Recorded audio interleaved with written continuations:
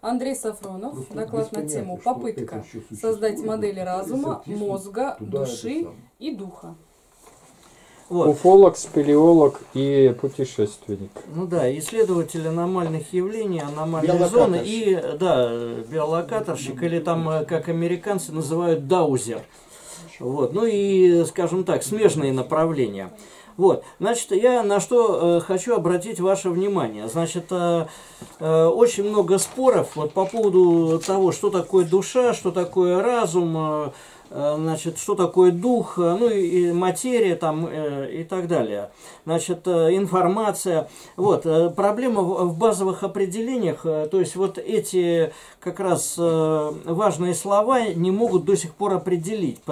Зачастую идет переиначивание смыслов. Вот, то есть один, например, человек воспринимает, что такое разум одним образом, а другой вкладывает другое определение. То же самое в отношении слов материи, там, ну и так далее далее. Вот, значит, э, я попробую подойти несколько, вот с какой стороны. Значит, несколько лет назад э, э, в свое время по телеканалу «Наука» показывала, ну, была интересная тема по искусственному интеллекту. Вот, там, собственно говоря, разыгрывалось как бы несколько вариантов – ну, скажем так, несколько, э, рассматривать несколько магистральных направлений вот в этой области. Ну, то есть одно направление, которое всем известно, это именно нейросети. Вот, то есть не надо вам объяснять, что это такое, в общем-то. Вот, то есть тогда это только начиналось, э, как бы сейчас это уже в более продвинутом виде. Вот, но там же в этой передаче говорилось об исследованиях э, разума в другом аспекте. То есть, э, например, на основе фрактальных резонаторов. Вот, причем, что интересно, э, значит, подробности я опять-таки не буду говорить, но вот интересная вещь. Когда говорят об искусственном интеллекте, то совершенно не рассматривают, условно говоря, некий синтетический аналог мозга, причем не статично, это не так, что на 3D принтере, например, распечатали точную копию мозга, который похож на настоящий, но он не работает, он статичен. Вот. А э, дело в том, что настоящий искусственный интеллект, э, по сути дела, это аналог мозга человека или животных, ну, таких высокоорганизованных, э, причем, э, которые построены по принципу фрактальных резонаторов, вот, э, причем динамических. А, вот, что очень важно. То есть, э, э, и вот э, как раз именно на эти вещи э, внимание не акцентируют, и более того, ну, в научно-популярной литературе или, допустим, в телепередачах, э, вот, скажем, именно этот аспект не рассматривается. Вот, значит, э, чтобы вам более понятно было, значит, что я хочу сказать, вот рассмотрим пример э, фрактальной графики. Вот. На самом деле это действительно аналог мозга, э, скажем, высоко организованных животных. Особенность э, вот такого рода фракталов э, в чем заключается? Значит, во-первых, э, они, э, скажем так, сильно разветвленные. Само слово фрактал вообще означает, э, ну, исходит от латинского слова фрактус, это сильно разветвленные. Вот. Но дело в том, что математ, математик Мандельброд, который ввел этот термин, он имел в виду нечто другое. То есть э, существует очень много э, самых разных разветвленных структур. Например, если посмотреть там береговую линию океана, например, или, например, бывают сложные, э, да, ну, допустим, формы растений, там плесени, Э, допустим, шерсть животных, это тоже, это сильно разветвленные вещи. А вот именно то, что ввел Мандельброд как математика, это принцип самоподобия. То есть, когда, условно говоря, некий базовый алгоритм вот, во фрактальном множестве э, воспроизводится на разных масштабных уровнях. Вот это очень важный момент. Вот, причем более того, хотя вот э, этот как бы снимок фрактала, ну, синтезированного на компьютере, Э, дает некий мгновенный слепок, это аналог э, тому, как вот если бы, условно говоря, был какой-то прибор, который мог бы снимать, например, э, показания мозга, вот, но в единицу времени, то есть не в динамике как мозг работает, там происходит изменение структур, а именно вот мгновенный слепок, мгновенная фотография. То есть вот, по сути дела, здесь вот именно вот эта картина. Вот, значит, еще, что можно вот про э, такие фракталы сказать. Значит, во-первых, когда запущен некий алгоритм, когда, условно говоря, запускается, скажем так, некая базовая конструкция, но на разных масштабных уровнях, значит, все это вместе начинает работать, ну, скажем так, начинает обладать удивительными свойствами. Вот, какими? Ну, во-первых, то, что, значит, вот рассмотрим с точки зрения взаимодействия с волнами. Дело в том, что если вот взять на этой картинке, вот посмотреть линейные отрезки, пусть даже криволинейные, вот, и, допустим, представить себе, что это некий фильтр в проекторе, вот э, происходит, условно говоря, не, некий э, поток волн, э, причем разных частот, соответственно, разных длин волн то получается, что э, вот э, фрактал обладает очень важными резонансными характеристиками. То есть он, условно говоря, волны начинает сортировать по определенным длинам и, э, скажем так, и по частотам. То есть это очень важный волновой преобразователь. Это вот первое свойство. Значит, второе свойство, значит, опять-таки применительно к волновым конструкциям, такая фрактальная структура – обладает э, качеством э, фазированной решетчатой антенны. Вот, но, к сожалению, в массовом сознании, ну, э, скажем так, понятие фазированная решетчатая антенна Э, ну, не очень прижилось, и мало из людей кто знает. Почему? В частности, потому что э, фазированные решетки, ну и вообще антенны на основе фазированных решеток активно применяются не только, скажем, в гражданских отраслях, но и в военных. То есть, если, например, посмотреть, э, допустим, различные, допустим, телекоммуникационное оборудование – Э, то, то есть даже вот есть охранные системы, построенные по принципу фазированных решетчатых антенн. Вот, радиолокационные станции, это именно военные, э, собственно говоря, военное применение такой техники. Вот, поэтому э, как бы обычные люди, ну, кто не связан вот с подобной деятельностью, они вообще про эти вещи не знают. А дело в том, что тайны мозга нельзя понять именно без понимания принципа Э, именно сортировки волн с помощью фазированной решетчатой антенны. Вот здесь как раз э, очень четко она присутствует. Почему? Значит, во-первых, потому что вот различные линейные отрезки, которые присутствуют, вот на примере такого фрактала, они, во-первых, в разных направлениях, и э, более того, если это объемная картина, они еще могут быть в разных плоскостях. То есть получается, что э, такая структура не просто обладает динамическими свойствами, она начинает улавливать волны определенных характеристик, а волны могут нести какую-то полезную информацию. Это очень важно. Вот. Причем более того, э, значит, когда такая структура сильно разветвлена, то на ней могут отображаться даже какие-то визуальные изображения, которые волны на себе переносят. То есть вот уже ключ к пониманию того, как э, мозг э, способен мыслить. Вот, кроме того, э, значит, вот такого рода структуры фрактальные обладают еще очень важным свойством когерентности.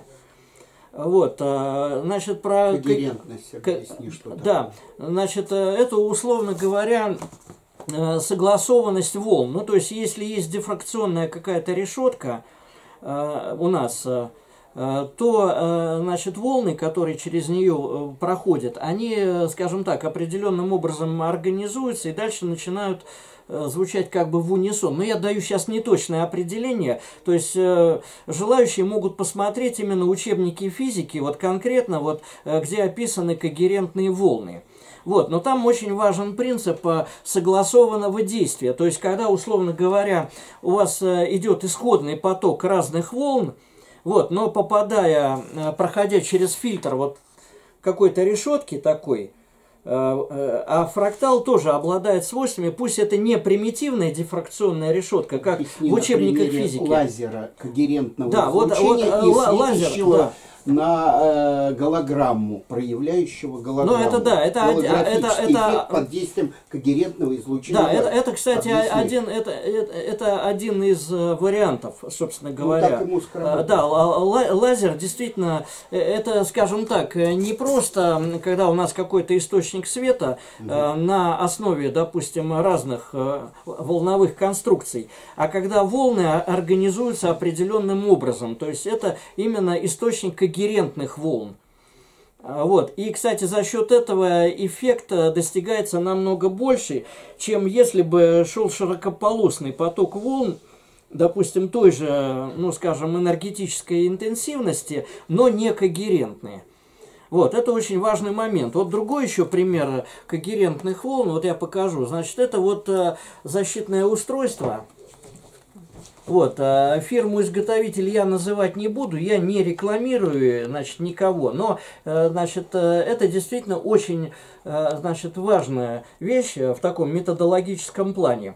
Значит, объясню. Когда на основе, скажем так, определенных знаний по сакральной геометрии с помощью вакуумного напыления некоторых материалов, в частности золота, на поверхность наносится очень сложный рисунок – и именно э, создается эффект э, когерентных волн. Вот это, это очень важный момент.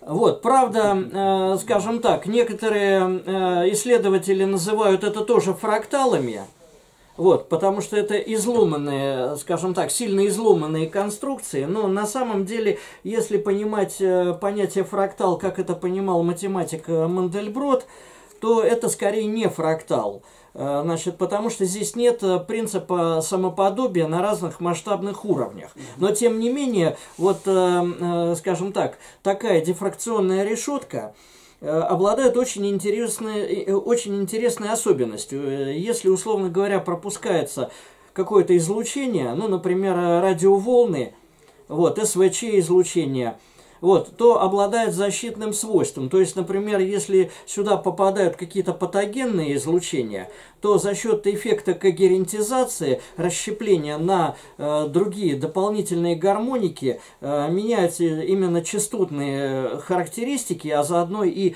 характеристики по длинам волн, и опасное излучение перестает быть опасным. То есть, например, вот такие устройства имеет смысл использовать как защиту, например, от излучения сотовых телефонов – в каком диапазоне ты считаешь, вот это защищает тебя? Но это не, не, это не в любом диапазоне, безусловно, но, по крайней мере, в области дециметровых волн, на которых работают сотовые телефоны, а я поясню, там, значит, одна из частот э, соответствует э, размер, вернее так, а, э, если брать длины волн, э, Значит, э, некоторые из них совпадают, например, с размером головного мозга человека.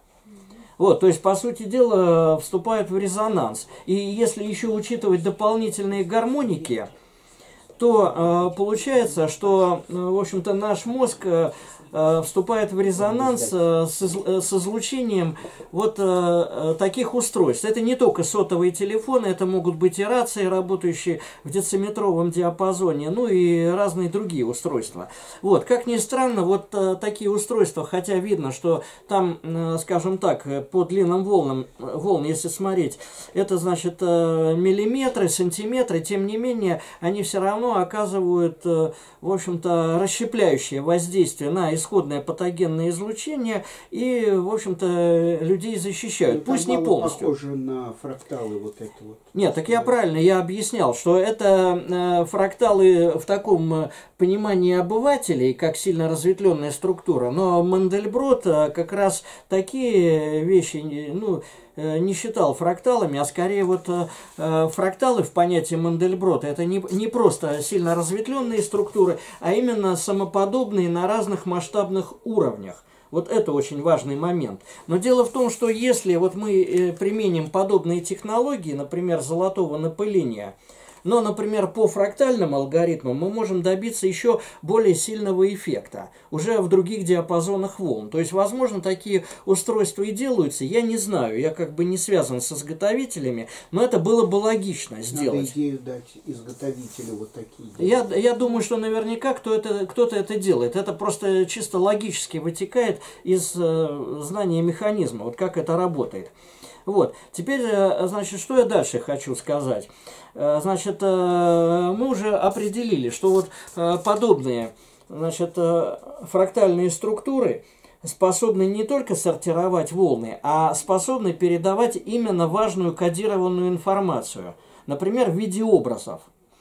Вот, но э, э, человеческий мозг построен намного сложнее. Вот, э, то есть я э, описал только топологические принципы строения мозга людей и животных. Вот, на самом деле, значит, обратите внимание, что у мозга людей вот нет вот таких вот как бы концов выступающих. Вот, э, то есть мозг упакован плотно, то есть и обтекаемо, и более того находится в подвешенном состоянии в жидкой среде. И он именно динамичен, то есть это э, фрактал, который еще работает в динамике, работает постоянно. Вот, причем э, организм человека, по сути дела, причем и грубое физическое тело, и тонкие тела, они, по сути дела, работают на обслуживание головного мозга, но не только. То есть разум содержится не только в мозге, но и в других структурах, но, по сути дела, организм э, это не просто скафандр, Э, значит, но он еще... Разум содержится не в мозге. Совсем. Нет, в мозге тоже. Э, и в мозге, и не только в мозге, назовем так. Вот, но организм, по сути дела, э, это как обслуживающий завод, вот, или, скажем так, ну, именно обслуживающее предприятие для того, чтобы, в частности, мозг мог именно нормально функционировать как динамический фрактал. Вот, теперь дальше. Значит, в принципе, в природе существуют и другие мозгоподобные структуры. А, вот, э, то есть э, топологическое подобие можно найти, например, у каких вещей. Например, если разглядывать некоторые грибы, там грибницу, плесень под микроскопом, то там можно обнаружить вот э, подобные какие-то концы.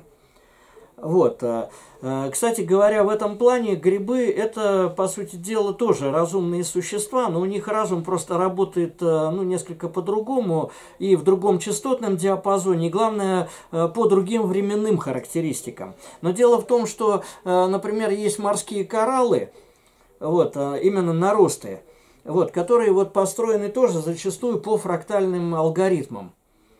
Вот, э, да, там тоже другие временные параметры, но кораллы это тоже, по сути дела, разумная структура.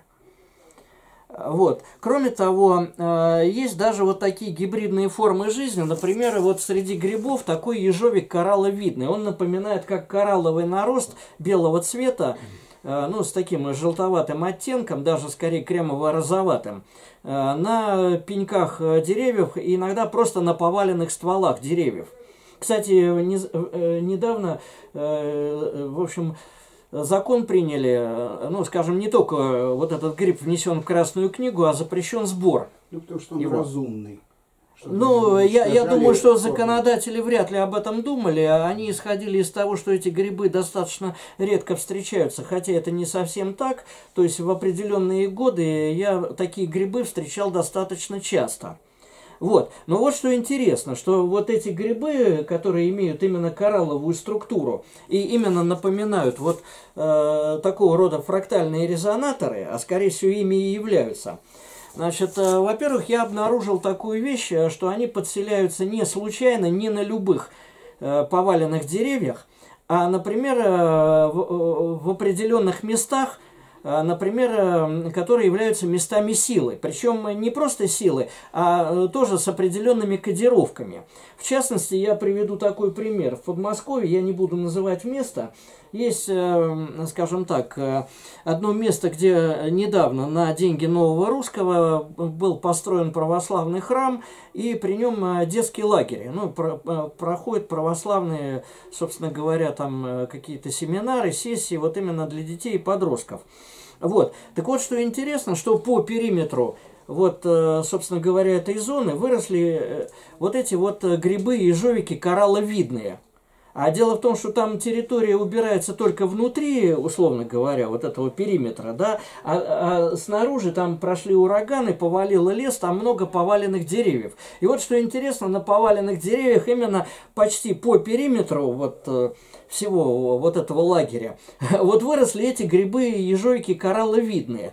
Э, ну, то есть э, я не считаю, что это простым совпадением и что э, там просто благоприятные условия для их произрастания. То есть явно это как будто вот кто-то понатыкал датчики, которые, ну, видимо, следят за этой территорией. Причем это каждый год происходило, но за исключением вот последнего лета. То, то есть вот почему-то вот ближайшее лето они не выросли. Посмотрим, а будет ли в следующем. которые соберут по периметру эти грибы, совершат обряд черной магии. Нет, ну это, Слав, ну это, это уже другая тема, мы как бы сейчас касаться не будем.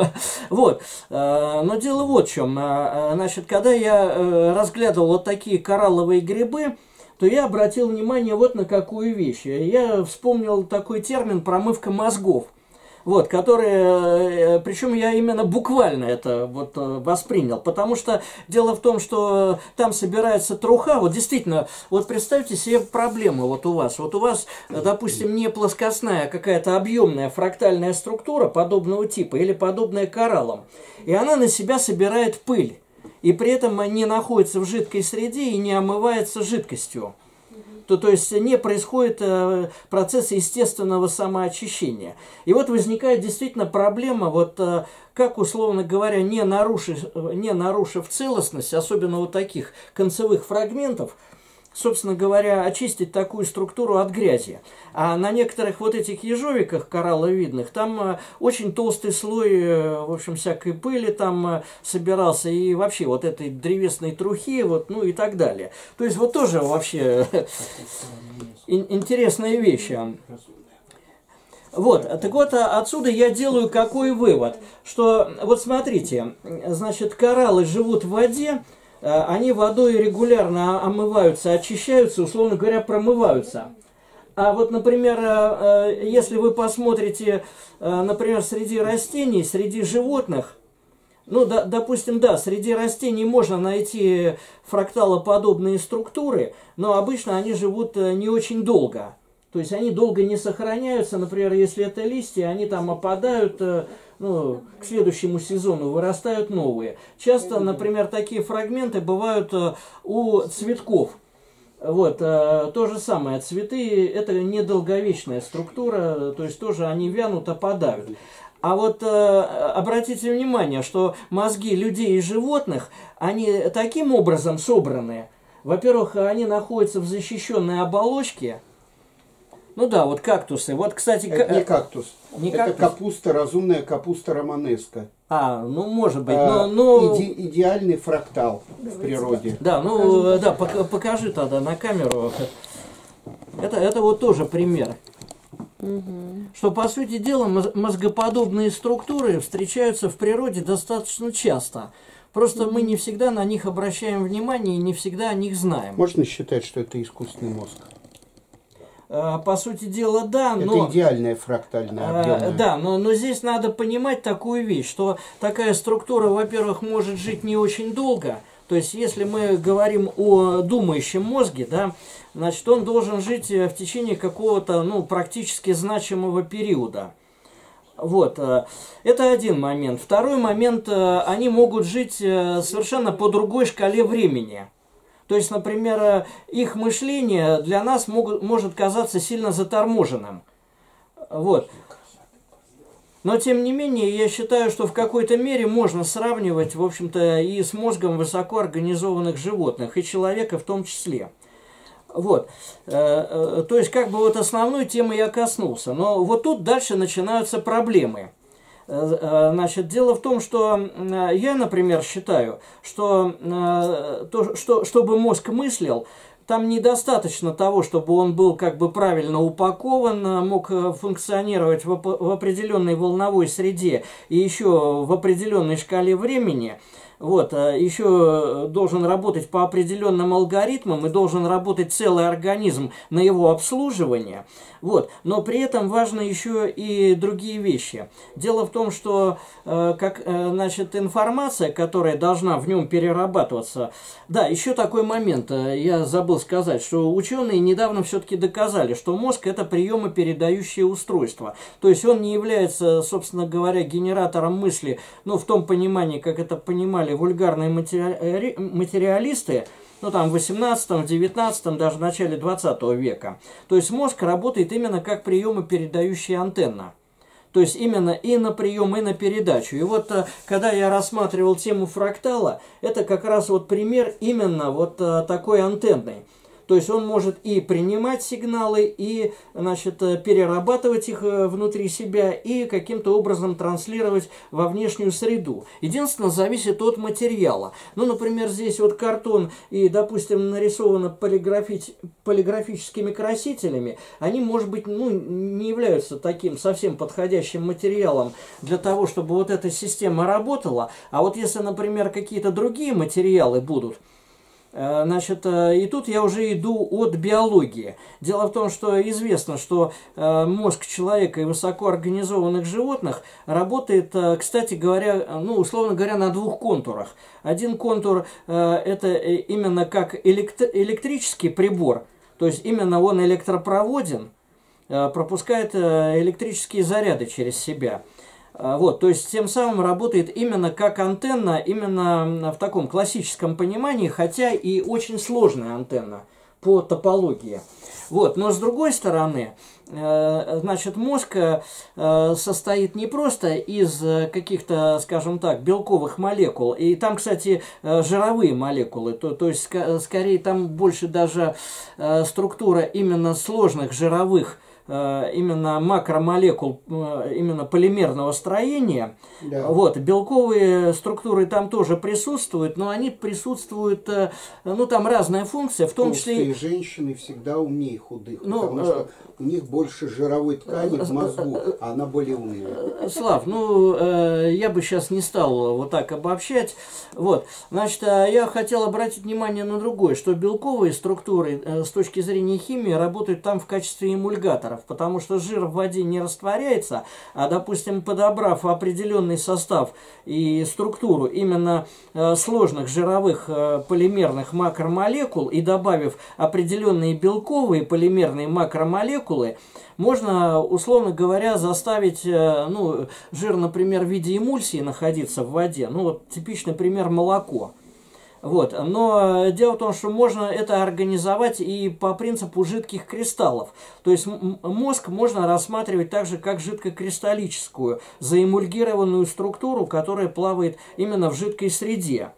Вот это тоже очень важный момент. И, наконец, мозг еще можно рассматривать с точки зрения э, значит, э, э оптиковолоконного кабеля. То, то есть это оптический проводник.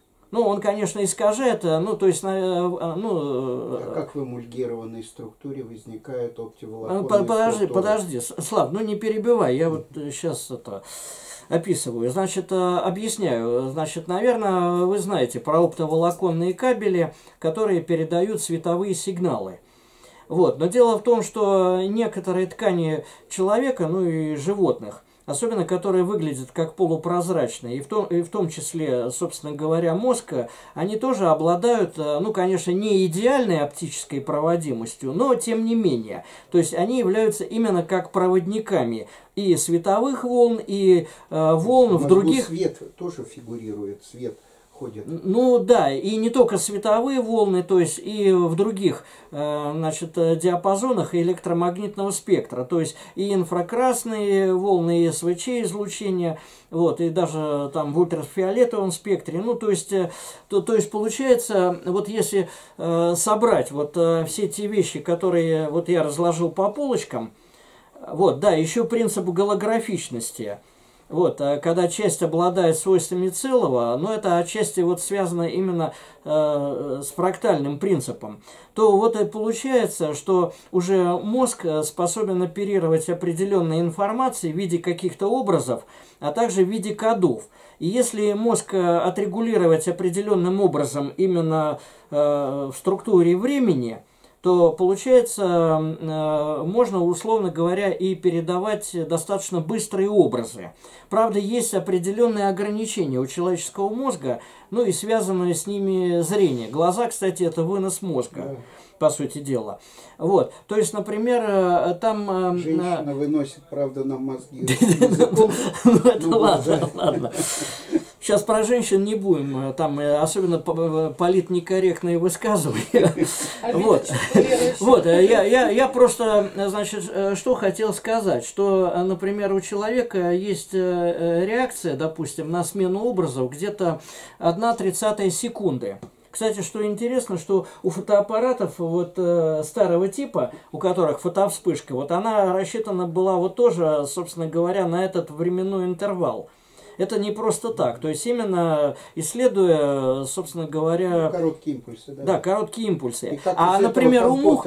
Из этого компота вот фрактально э, резонансных э, фазированных решеток и голографического все вот это вот компот вот этот вот и Э, среда, скажем, жировая эмульсионная среда, как из всего этого компота Синтез. создалась некая структура. И кто это, вот, э, скажем, выкристаллизовал структуру, что она начала жить и думать как мозг. Я думаю так, что... Потому что все мы можем да, накидать, но да. это не будет значит, мозгом. Значит, я поясню. Я думаю, что мозг это именно продукт биоконструирования – то есть были, э, были внешние конструкторы, но э, ну, неважно в данном случае кто, э, в дан, это сейчас не тема нынешнего ну, доклада. Ну, так коснуться. Вот, но, но, но, я, но я хочу сказать другую вещь, что, скорее да. всего, Вселенная стала развиваться не по тому механизму, как это описано, типа большой взрыв, а скорее, если говорить о взрыве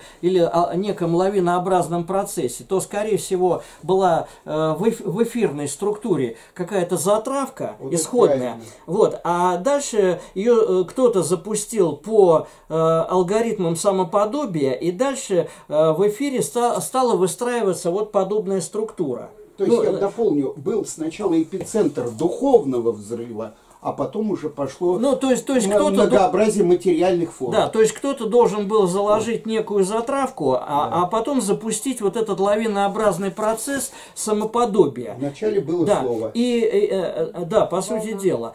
Ну, вот волна, да, акустическое колебание можно понимать как угодно. Кстати говоря, тут тоже сложный вопрос, потому что э, вначале было слово, это перевод на русский язык э, с греческого варианта Библии, а э, в древнегреческом языке э, там использовался термин логос. логос. А логос имеет до 20 смыслов, и это не только слово, и не только некая информация, вот, а логос это в том числе тороидальная структура. Волна.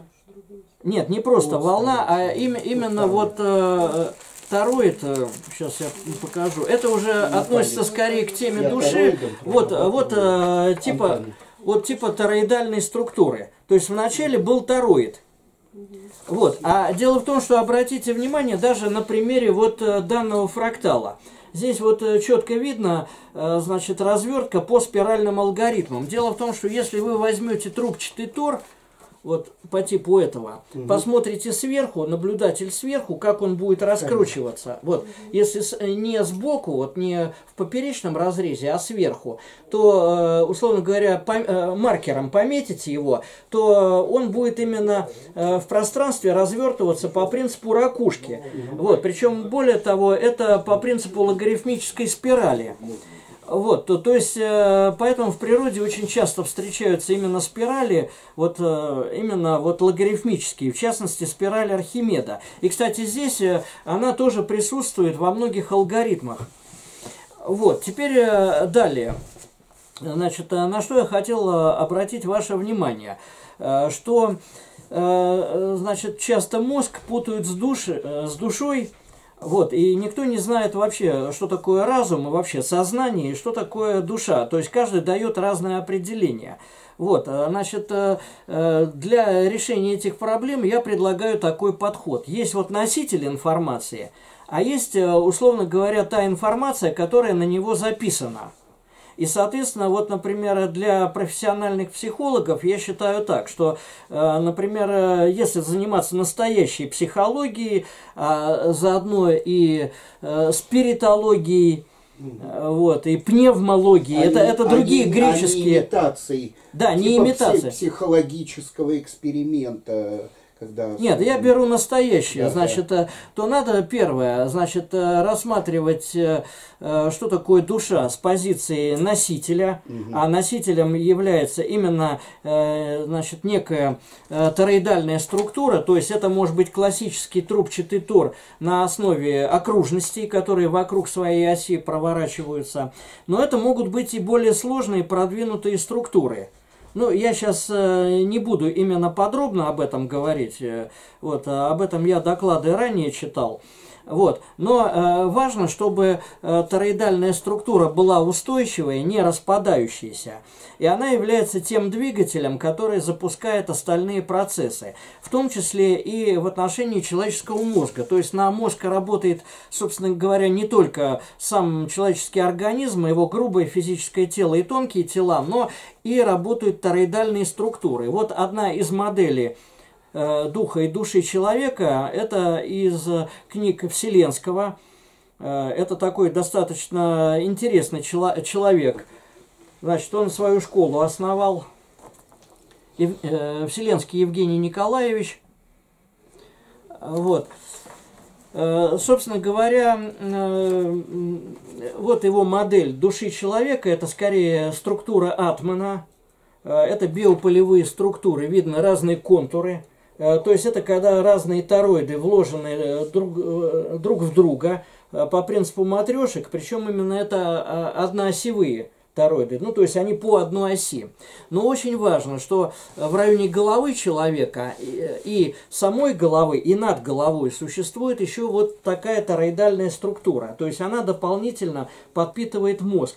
И, кстати, влияет даже на то, о чем человек думает своего рода такая в виде летающей тарелки. Да, да напоминает. Или нимб, который да. на Да, значит, я поясню. Вот даже на вот этом примере, это взято из книг Друнвала Мельхиседек, это американский физик и контактер, значит, э, там очень важный момент, что э, ну, он э, обрисовал полное тело света человека, то есть это биополевая структура вокруг тела человека, вот. Но если человек с очень сильным биополем, вот, то э, получается вот э, такой трубчатый тор при больших скоростях и высокой плотности и высокой мощности, он трансформируется в летающую, форму летающей тарелки.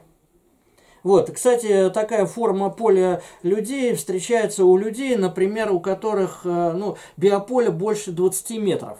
Вот, ну, например, мне встречалась одна женщина, у которой поле было 200 метров то, то есть именно вытягивается в форму летающей тарелки. Вот, это действительно вот э, такая... Она может резать поле других людей, как болгарка. Нет, она не, не режет, но действительно взаимодействует. То есть она сама объясняла, что, например, э, в любом помещении ей очень тесно, в любой комнате. Вот, в метро ехать тоже, как бы, ну, ну то есть, э, получается, она своим полем охватывает огромные пространства. В горы ходит? Нет. Ну, так в горы и ходить. Вот, то, то, то есть э, пространство именно э, слишком, ну, ее стесняет.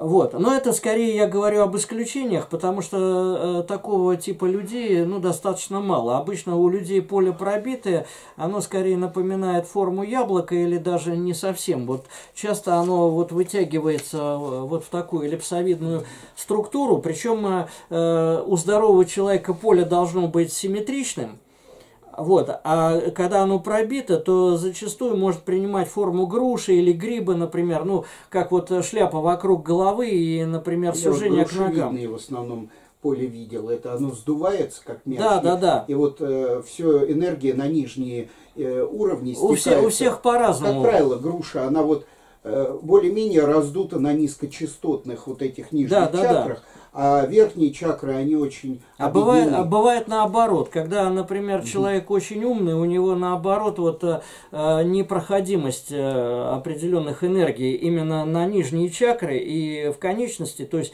э, у таких людей, например, могут быть травмы ног, причем это прописано и именно в полевых структурах. функция очень придавлена, нету либидо Ну, не, не, не обязательно. То есть все в мозг ушло. Не обязательно, но, по крайней мере, вокруг головы у них действительно контур напоминает шляпку гриба, вот, а к ногам идет наоборот утоньшение. Причем э, еще и форма может быть не обтекаемая, а с какими-то пробоями. Причем пробои напоминают вихревые воронки, причем устойчивые. А, вот. Но вот э, тут мы как бы перешли от темы, собственно говоря, мозга и разума э, к теме э, души. Ну, значит, э, про мозг и разум я еще хочу добавить, что когда мы говорим про разум, э, значит, часто не рассматривается два аспекта носителя разума, это мозг, или мозгоподобная фрактальная структура, вот, э, и э, не рассматривается зачастую Э, э, э, скажем так, та кодировка, которая написана вот на этом носителе. Вот, то есть, если мы говорим слово разум, то скорее надо понимать под этим, значит, кто-то понимает мозг, ну, в разных культурах, народах есть и такое понимание, что разум тождественен мозгу. Хотя это не совсем... Нет, но есть такие культуры. Вот. Но тут надо отделять. Вот есть носитель информации, а есть сама информация.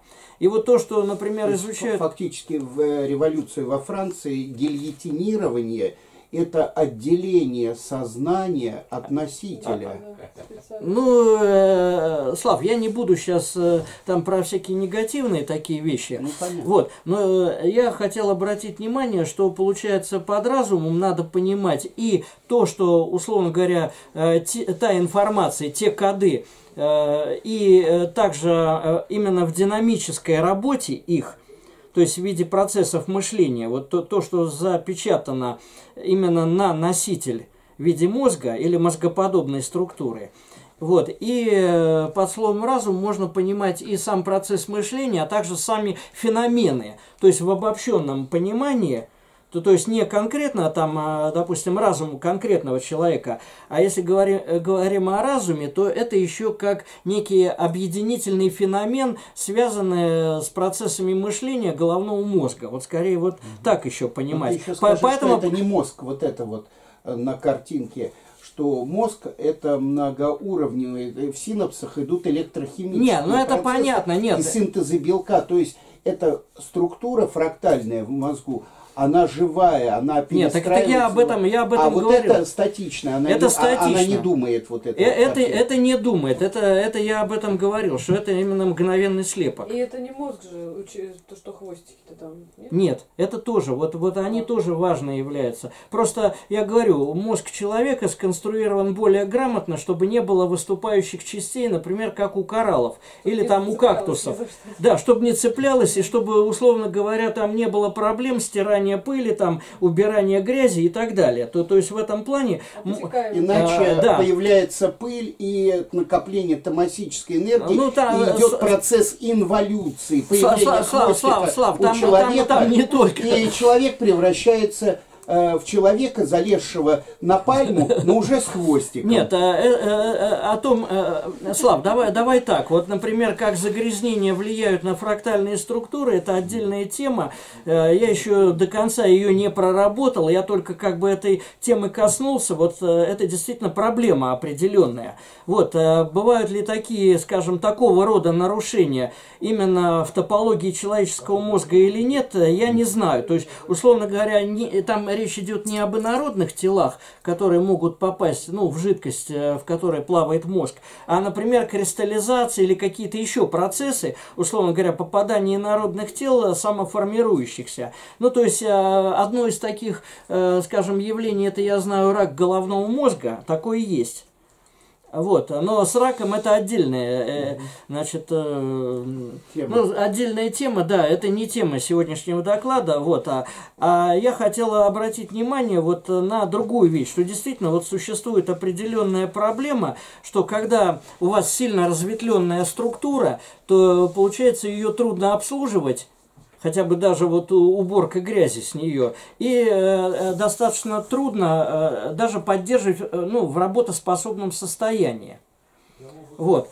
То, то есть э, это тоже очень важный момент.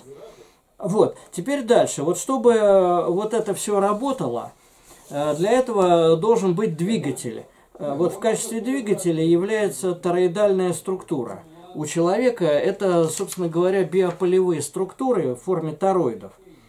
Вот, а, э, причем э, часто, э, собственно говоря, любой кодированный тороид, с моей точки зрения, является душой. Вот, и повторю, даже не кодированный тороид, то есть просто вот в чистом виде тороид тоже является душой, потому что отсутствие кодировки это тоже кодировка. А бывают души не тороидальные? Э, я думаю, Хотя так. в других э, пузырях жизни или в других Слав, Слав, вопрос хороший. Я считаю, что нет, потому что такие структуры будут саморазрушаться. То есть одна из особенностей э, тороидальных тел, то, что они самоподдерживающие. То есть, да, теоретически можно создать какую-нибудь вращающую то есть, турбину. Это процесс идет. Да, да причем подкачка идет именно эфирной субстанции. Mm-hmm. То, то есть важно, что если мы запу- запустим любую другую вращающую управляющую структуру, да, те же пропеллеры, там какие-нибудь турбины, вот, то они все равно зависят от внешних источников. Они сами себя не поддерживают. А вот здесь именно особенность в самоподдержании. То есть это, по сути дела, является двигателем. Альтернативный вариант тороидом э, души, э, скажем так, по типу грибницы, сетевая структура – по типу грибницы, но не тороидальная. Нет, она все равно содержит тороиды, хотя бы на уровне э, каких-то атомов. Например, те же макромолекулы полимеров, полимеров состоят из атомов. Соответственно, там тороиды присутствуют по-любому. Здесь Васюкова сидел. Вот, э, значит, э, да, потом я еще э, на что хотел обратить внимание. Вот именно напомню применительно к теме души. Дело в том, что многие не знают, что это такое.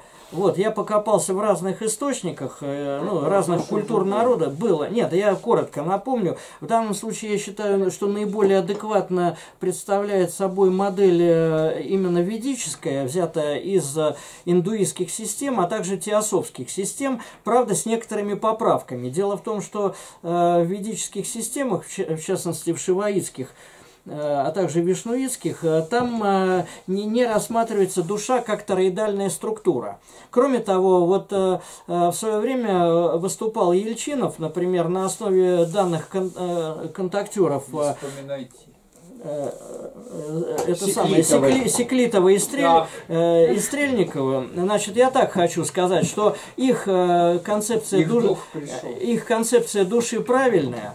Нет нет, души правильная, но там э, изъято упоминание о тороидальных носителях. То есть там э, как бы описаны некие информационные или кодирующие характеристики, причем достаточно интересно описано, но, но без носителя. То есть есть негласный запрет на знание о тороидах. Э, вот. И, значит, я хочу уточнить. Значит, существует с точки зрения ведического знания как бы несколько видов душ. Значит, э, один основной – это джива или дживатма. Значит, э, это микрообъект, э, который проецируется в сердце любого человека. Размеры. Размеры... А, Николай Михайлович собирается, он хотел да. про Эмираты Значит так, размеры там порядка 10 в минус 6 степени метра.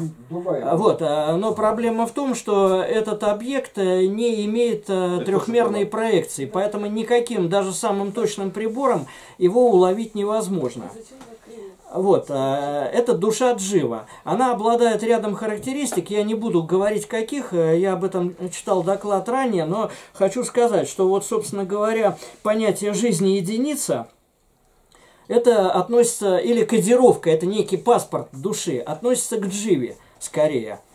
То, то есть, э, еще я хочу добавить, вот э, души бывают, условно говоря, пронумерованные, э, как, как бы, условно говоря, которые внесены в книги судеб, Вот. И души, которые как бы не сертифицированные, не пронумерованные, не внесенные э, э, в книги Как контрафакт с Малой Арнаутовской Ну, там не обязательно. Там некоторые не, знают, что, некоторые не знают, что создают контрафакт. Дело не в том.